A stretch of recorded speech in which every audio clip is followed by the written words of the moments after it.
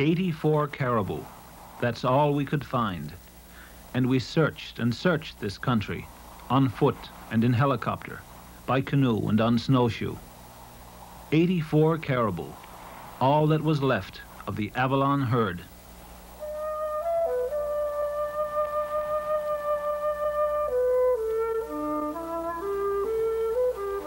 Yes, back in the late 1950s, we wildlife men had pretty well given up hope for the survival of these animals. Their range here on the Avalon Peninsula in the easternmost part of Newfoundland was simply too small, too crowded.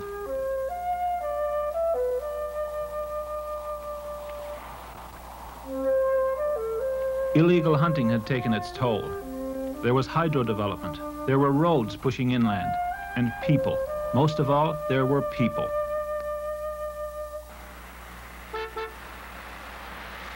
Our population was increasing rapidly. St. John's had grown into a bustling port of 100,000. It was only 30 miles away from the northern edge of the Caribou Range. Life was changing rapidly here in Newfoundland. We were more affluent, more mobile. We had leisure time now, and the primitive backcountry, the wild interior of the Avalon, became more and more attractive. Closer and closer men edged to the heart of the Avalon wilderness. Closer and closer to the home of the caribou. They found it barren, rocky, windswept, yet with a primitive beauty all its own. Huge boulders lay scattered about, massive monuments to the great glaciers that once inched their way over the Avalon scraping away the soil, leaving the hilltops bare and raw. A crazy quilt of bog and barren and scrub forest, laced with ponds and lakes and rivers. A subarctic wilderness in the heart of the Avalon. But this land was bare and barren only to the casual observer, for those who looked closely found a rich and varied carpet beneath their feet. It was this carpet which sustained the caribou. In summer, the tender green shoots. In winter, the clusters of white lichens, the caribou moss.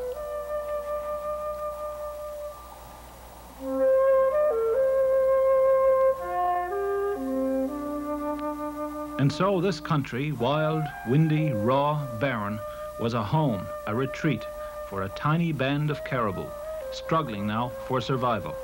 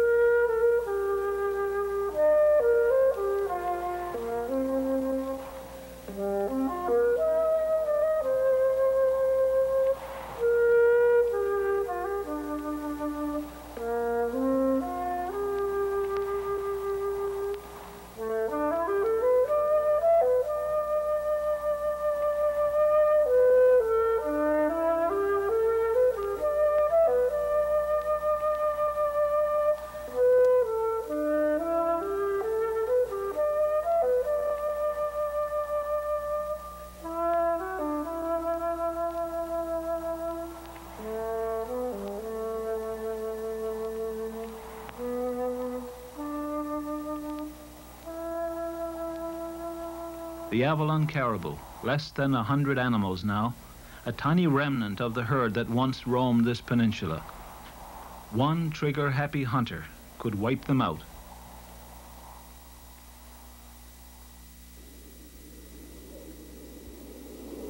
Well, just when most of us had given the herd up as a lost cause, just when we figured the Avalon herd would have to be sacrificed to progress, a man called Mike Nolan appeared on the scene.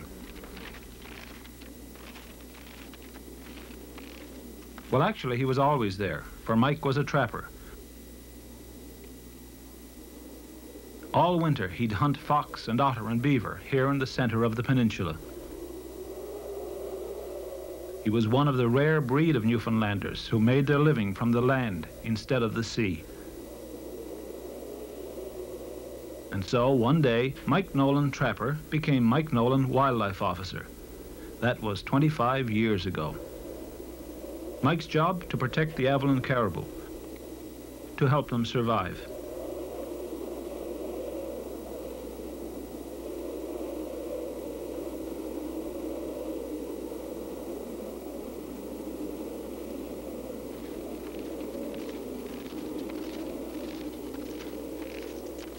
A hopeless, helpless task, a lonely, impossible job.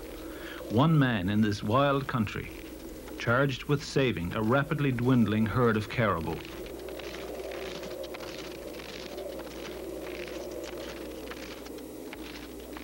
You walk uh, perhaps all day you walk and you may see the track of a caribou and you may not, eh? May one track. So the few that were around, uh, there weren't that many, less, less than 100 animals all over that country, so it didn't show up very much. I spent in a week, five and six, seven, eight days. The, la the longest stretch was 22 days. I spent 22 days at one stretch without coming here at one time.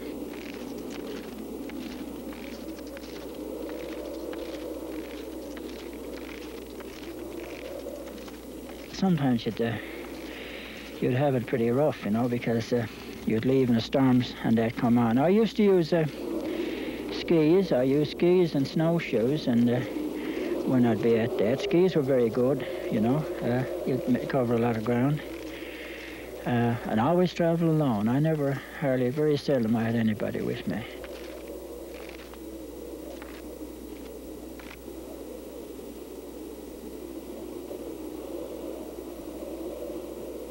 certain times of the year, of course, they have a different range. Uh, you take, uh, in the summertime, of course, you probably use mostly the bogs, eh, and perhaps near the, the wooded areas, eh? But when you take, uh, come fall of the year, and especially heavy snows, of course, they take to the higher ground where they can get the, the food more easily. Eh?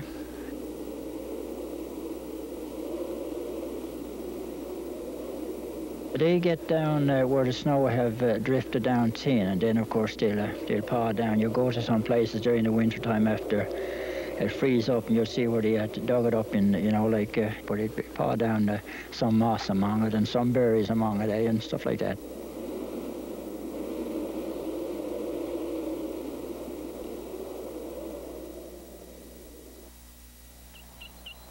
Winter, spring, summer, fall. Mike would be on the barrens, studying the caribou, protecting them. But it wasn't just this herd that needed protection.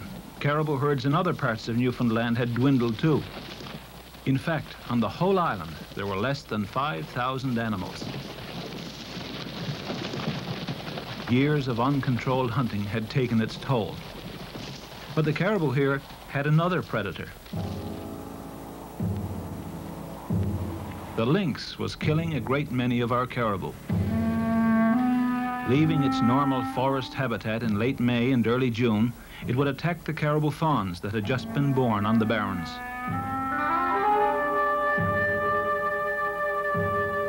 The young caribou are small at birth, weighing only 14 or 15 pounds. Easy prey for the stealthy lynx lurking at the edge of the forest.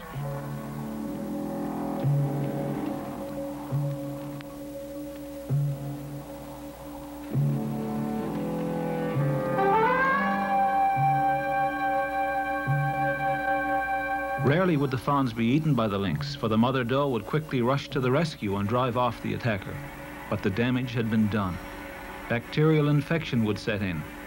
We found young caribou lying dead and dying all over the barrens.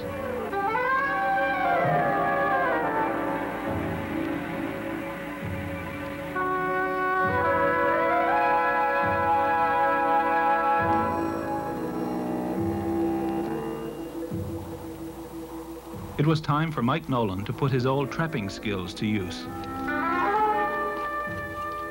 Lynx were removed from around the calving grounds.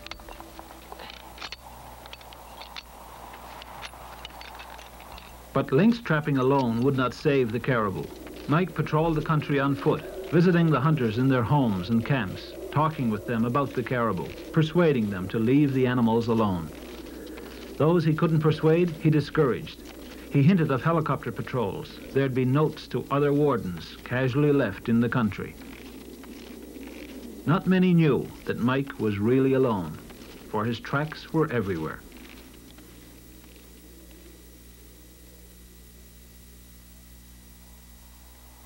You got to, to stay with them. You got to go into places where the animals frequent find out uh, different times of the year where they're at. And of course, you got to, to go in there and make scatter trip out to the settlements from time to time, talk to the people, stay all night, and go back among your caribou again. And uh, of course, uh, everyone know you're in there, and that's your purpose. So uh, a few fellas that wouldn't normally go in will probably forget the whole thing. Well, gradually the herds started to rebuild. The caribou were starting to come back. Each year there were more and more animals in the herd. You'd see them in places they'd never been seen in living memory. People not accustomed to caribou came home with stories of strange white moose. New trails crisscrossed the barrens. Old trails were deeper, wider.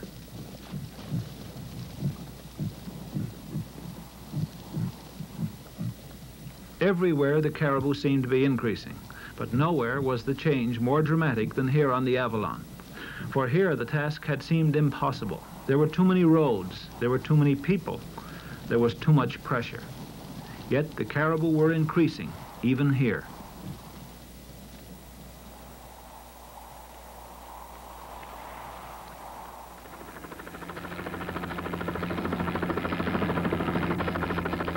Mike was now involved in wildlife management as much as he was in law enforcement.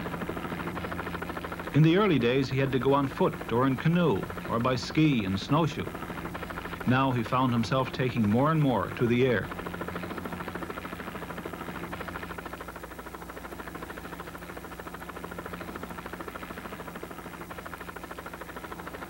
An hour or two in helicopter can sometimes give you as much information about the caribou as a week or more of field work on the ground.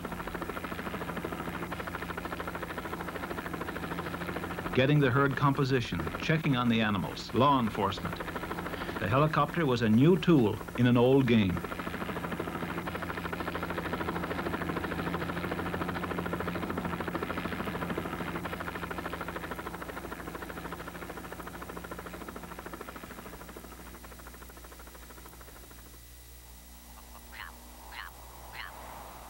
Every now and then I'd make a trip with Mike, just to keep in touch with him and with the Avalon wilderness. But mostly, Mike and I went in just to watch our favorite animal, the caribou.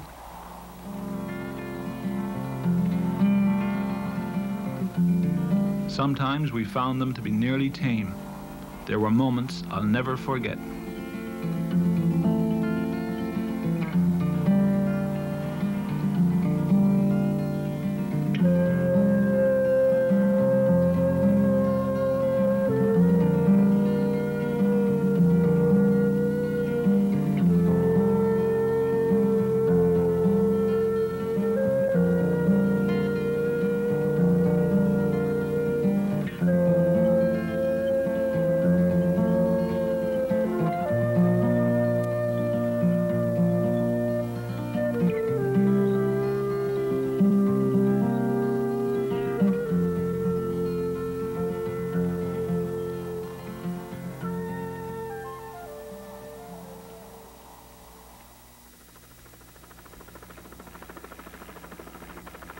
Over the years, one of Mike's main worries was the growing number of snow toboggans and all-terrain vehicles.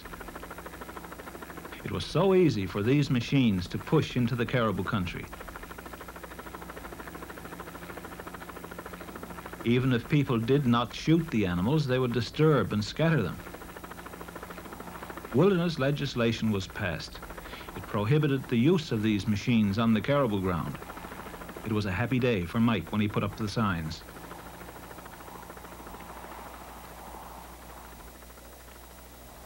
Cabins were also banned. Mike burned down some. Others fell to his power saw.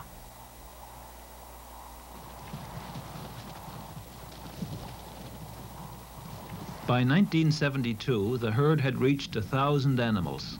The tide had turned. The Avalon herd was no longer in danger. In fact, the Avalon herd was one of the healthiest in the province. Some of the stags were huge, dwarfing those of other herds.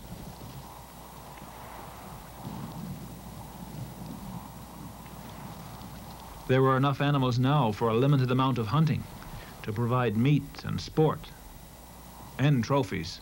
World record antlers were recorded.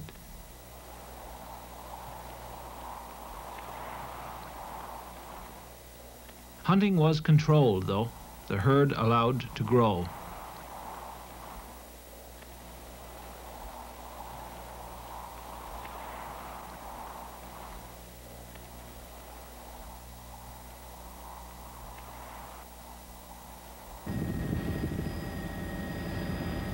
Soon there were so many caribou on the Avalon that some could be captured and transferred to other places, to isolated islands and places where caribou had been hunted out years ago. The Avalon herd, the herd that had been on the verge of extinction a few years before, would now colonize other parts of the island.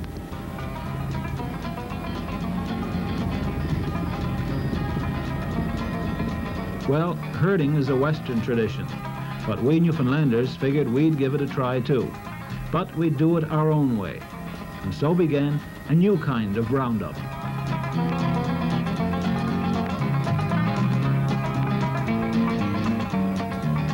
We try to drive them out in the lake. And then when you get them out in the lake, of course, you pick uh, the, the ones you, you're going to take, perhaps the earring or the, the calf that was born that, say they were born in, in June, and you would be at transferring them perhaps in, in fall, late fall.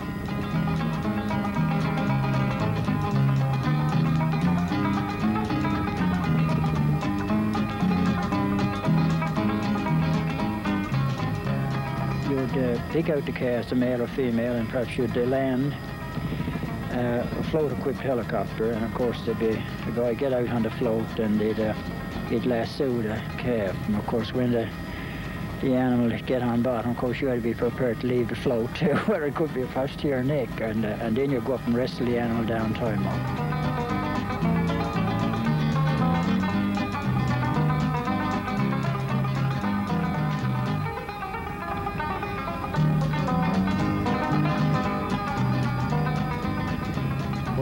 Wrestle uh, to the ground, uh, of course, they're tied up, and uh, we put them in a net, and with the helicopter take them and, and, take them back to central country and, and release them in the place we have picked to start the herd. We're not after using the drug. If we did, we'd probably be a little more careful than that, but uh, the animal is still in, uh, in good shape. He's only tied uh, just so he can't get his feet clear, that's all.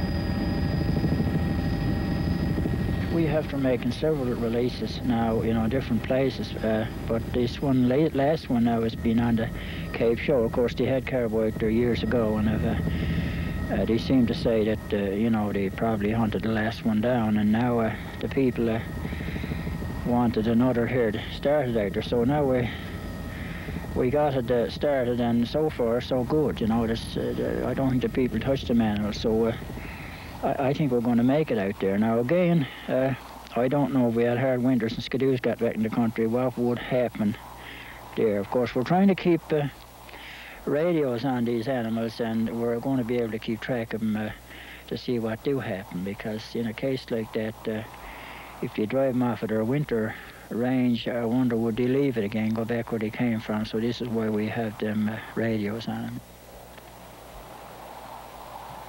And so, decorated with tags and ribbons, stamped with numbers, and sporting the latest in radio transmitters, these caribou were released on the barrens of the Cape Shore. All they had to do now was survive and reproduce. The survival of this tiny herd would depend on many things, their own health and vitality, on food and weather, on predators, but more than anything else, it would depend on the attitude of the people in the communities nearby. Would they protect them? Would they leave the little herd alone?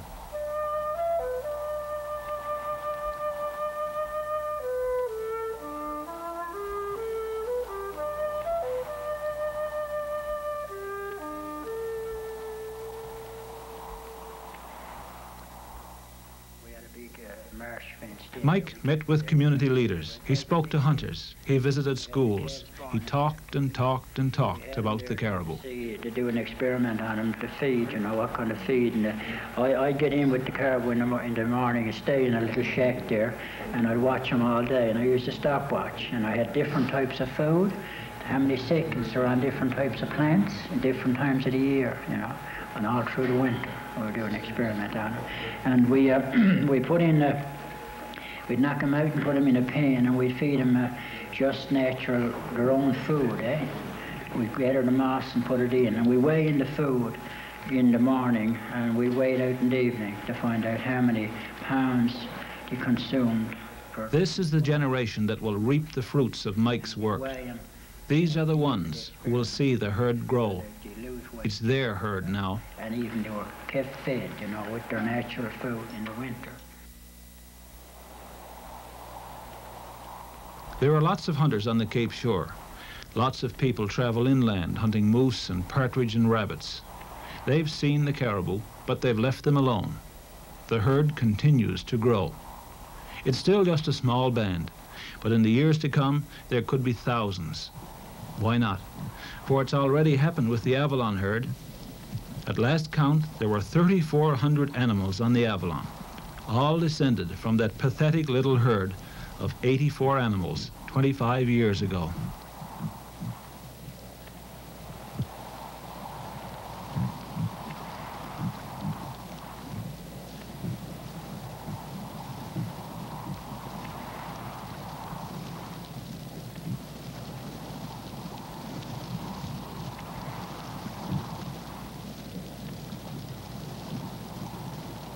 Many times I've flown in to see the Avalon herd. Sometimes I've backpacked in. It's not something you do on a Sunday afternoon, for these are wild animals, primitive animals that have survived hundreds of years of hunting. They're well back in the country. They're wild, hard to find. Well, yes, they were, but not anymore. Not if you're at the right place at the right time. Like I was last year, here on the Southern Avalon. I could scarcely believe my eyes. Here, not two hours' drive from St. John's, was a herd of caribou grazing not 200 yards from the road. You could watch them from your car.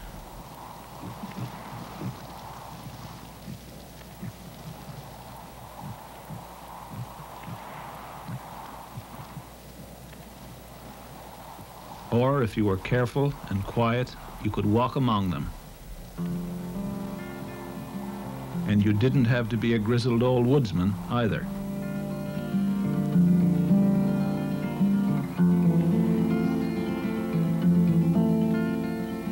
I've seen a lot of caribou. I've studied them, I've hunted them, I've photographed them. I've spent a lot of time in the caribou country. But now, to stroll in, to see the Avalon caribou up close, to mingle among the herd, to show them to my son and to my friends, to share their new joy, was the biggest thrill of all.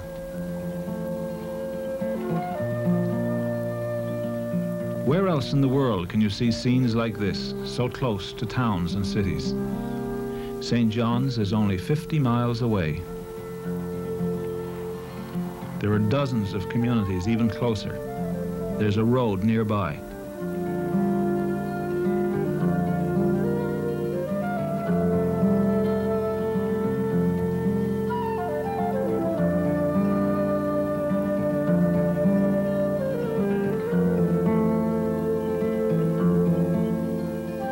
Once they were nearly gone, you know. The Avalon herd was nearly extinct.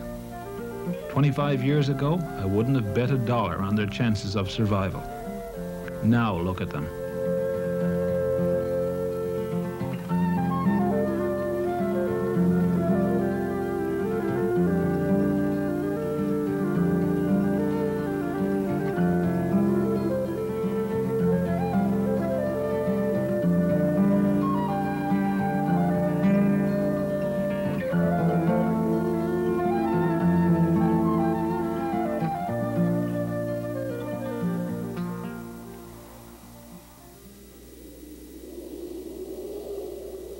Think of the Avalon herd, I think of Mike Nolan. Oh, I know he's not the only one who's worked to preserve and protect these animals. There have been many, and they're still out there.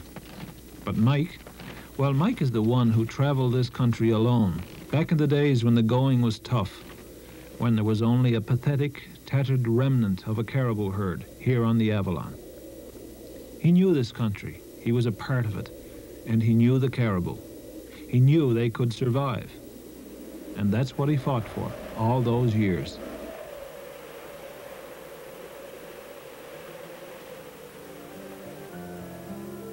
Mike is 65 now. He's retiring from his job, but not from the Avalon Wilderness.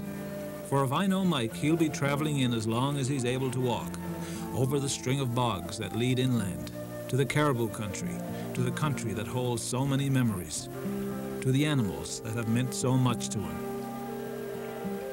And when he can't walk in anymore, Mike says he's going to build a tower here in this field by his home so he can sit and watch over the Avalon herd.